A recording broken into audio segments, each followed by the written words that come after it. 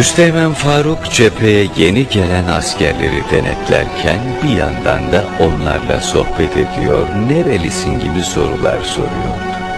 Gözleri bir ara saçının ortası sararmış bir delikanlıya takıldı. Yanına çağırdı ve merakla sordu.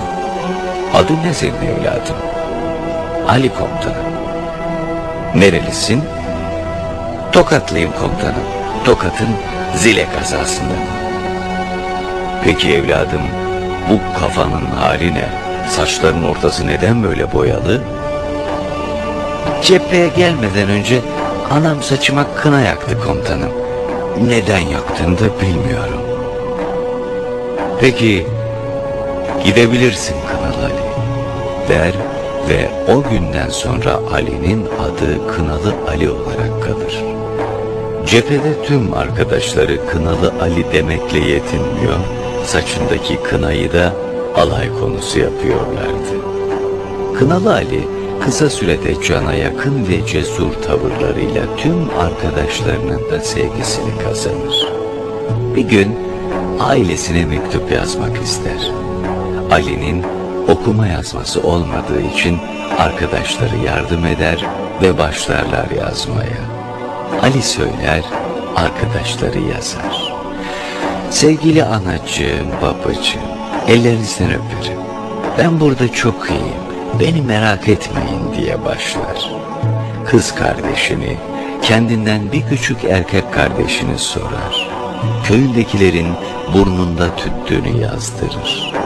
Kendilerini merak etmemesini, kendileri var oldukça düşmanın bir adım bile ilerleyemeyeceğini yazdırır. Gururla mektubu bitirir. Neden sonra aklına gelir ve yazının sonuna anasına bir not düşer. Ali'nin kendisinden hemen sonra askere gelecek bir kardeşi daha vardır. Anacığım, kafama kına yaktın burada komutanlarım ve arkadaşlarım benle hep alay ettiler. Sakın kardeşim Ahmet'e de yakma, onunla da alay etmesinler. Ellerinden öptüm diye bitirir mektubunu.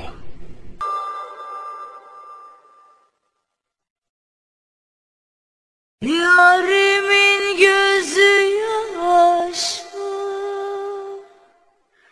Yıllardır dilimize dolanan bu Tokat türküsünü biz hep bir oyun havası olarak bilsek de bu Rumi takvime göre 1315 doğumlu olan ve Çanakkale cephesine gidip geri dönemeyen 15'lilerin hazin hikayesini anlatıyordu.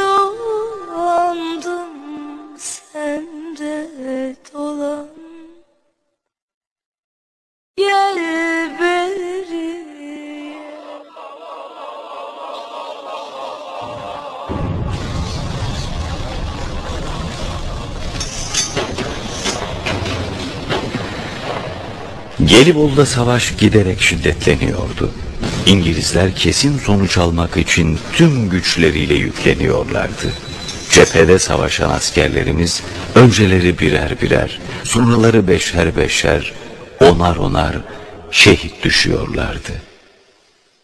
Gelen destek güçleri de yeterli olmuyor, onların da sayıları giderek azalıyordu.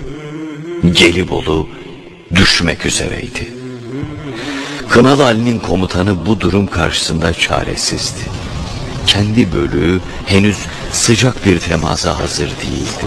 Bu vatan erlerini, insan bedeninin süngü ve mermilerle orak gibi biçildiği bu cepheye göndermek zorunda kalmaması için Allah'a dua ediyordu.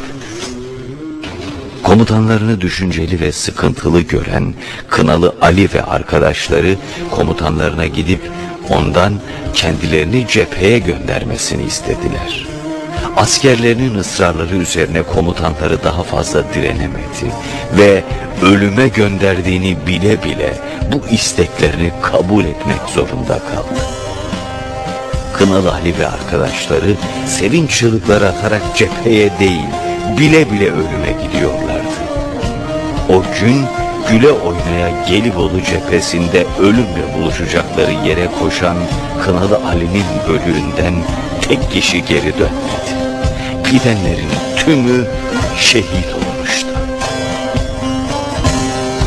Bu olaydan kısa bir süre sonra Kınalı Ali'ye anne ve babasından şimdi Aslı Çanakkale Müzesi'nde bulunan bir mektup geldi. Onun yerine komutanı mektubu aldı ve buruk bir ifadeyle okumaya başladı. Cepheye gitmeden önce arkadaşlarına yazdırdığı mektubuna aile adına babası yanıt veriyordu. Oğlum Ali, nasılsın, iyi misin? Gözlerinden öperim, selam ederim. Öküzü sattık. Parasının yarısını sana gönderiyoruz. Yarısını da yakında cepheye gidecek olan küçük kardeşine veriyoruz. Şimdi öküzün yerine tarlayı ben sürüyorum. E artık Zahire'ye de fazla ihtiyacımız olmadığından fazla da yorulmuyorum. Sen sakın bizi düşünme. Babası mektupta köydeki herkesten, akrabalarından haberler verdikten sonra şimdi ananın sana diyecekleri var diyerek sözü ona bırakıyordu ve şöyle diyordu anası. Oğlum Ali, yazmışsın ki kafamdaki kınayla dalga geçtiler. Kardeşime de yakma demişsin. Kardeşine de yaktım oğlum. Komutanlarına ve arkadaşlarına söyle, senle alay etmesinler. Bizde üç şey için kına yakarlar. Bir, gelinlik kıza, gitsin ailesine çocuklarına kurban olsun diye. İki, kurbanlık koça, Allah'a kurban olsun diye.